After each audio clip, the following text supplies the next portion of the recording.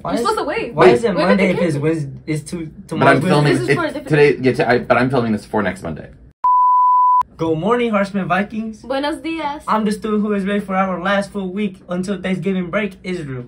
And I'm the student who's mentally already on break, Aracelis.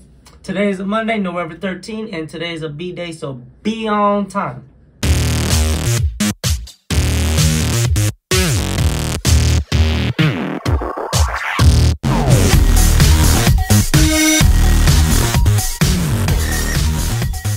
It's time for Harshman happenings.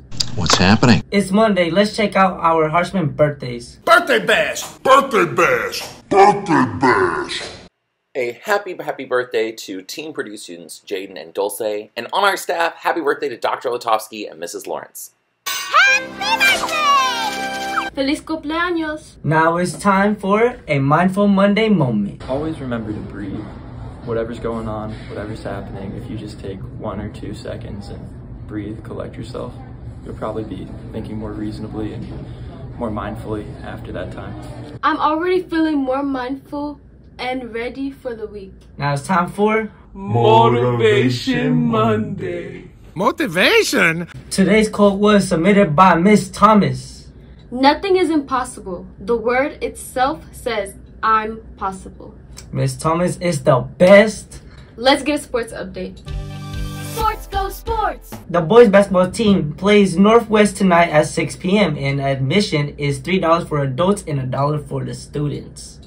Now it's time for Before You Go, Stay in the Know. Hello, Harshman Vikings. It's Mr. Hester here, hopping on the morning announcements to give you a few quick updates. As you all know, the incredible Mrs. Moore went from being our interim principal to our full-time principal some time ago. And starting this week, um, I will actually be transitioning into our assistant principal role um, for the rest of the school year. Uh, what does that mean? It means current seventh graders, you're still stuck with me for seventh grade math, but eighth graders, starting this week during lunches on Tuesday, Mr. Paysuit and myself will actually be pulling you out um, to begin the work of high school selection process. So we'll be pulling you all out this week, giving you some materials to help you make that high school selection choice.